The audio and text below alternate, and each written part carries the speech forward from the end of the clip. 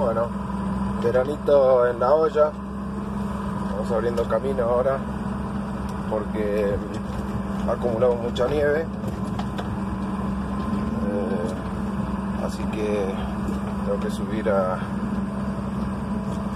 subir a la montaña, a la cumbre con los trabajos para despejar los caminos de verano.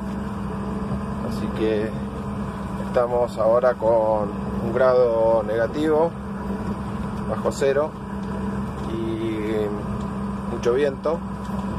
Eh,